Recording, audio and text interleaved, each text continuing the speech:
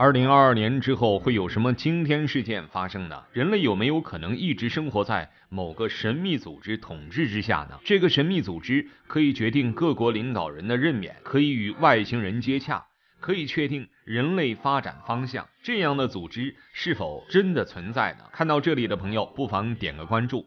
方便收看更多精彩内容，感谢支持。世界上的确有这样一个组织，虽然它并没有公之于众，但也并没有刻意隐瞒自己。它的势力之大，连美国总统的选举都能影响。这个组织的成员允许所有人加入，只要你年满十八岁，且是一名被认可的成功人士，由内部人员引荐之后，你就可以是该组织的成员。目前，这个组织的成员已经遍布世界，据估计。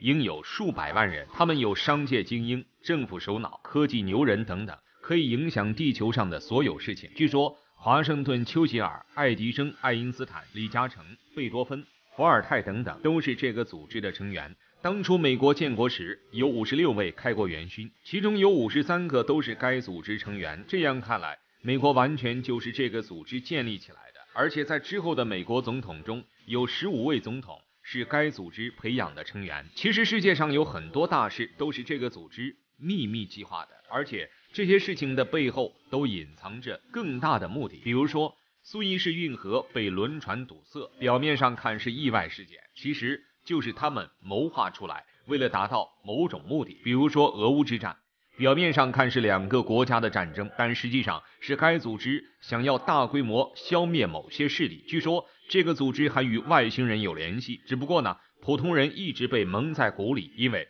整个世界都在他们的影响之下。这个组织大家可能听过，它在欧美地区十分有名，它就是共济会。不过，共济会并非我们今天的主角，我们今天聊的是。秘密政府组织的预言。这个秘密政府组织虽然起于共济会，但却高于共济会。它的名字是光明会。共济会已经是无数人可望而不可及的存在。那光明会又是什么呢？据说光明会是在一七七六年的时候。由一个叫亚当的天才建立。亚当二十四岁的时候就成了教授，还研究神学。起初他学耶稣，之后学习了埃及神学和犹太教。在融合了众家之长后，亚当决定成立建立一个新世界。于是他成立了光明会。在光明会建立之后，他凭借自己的地位。拉拢了一些共济会的成员，共济会中都是人类的精英，而亚当呢，只拉精英中的精英。光明会的势力也越来越大。后来呢，共济会的成员甚至都以能加入光明会为荣。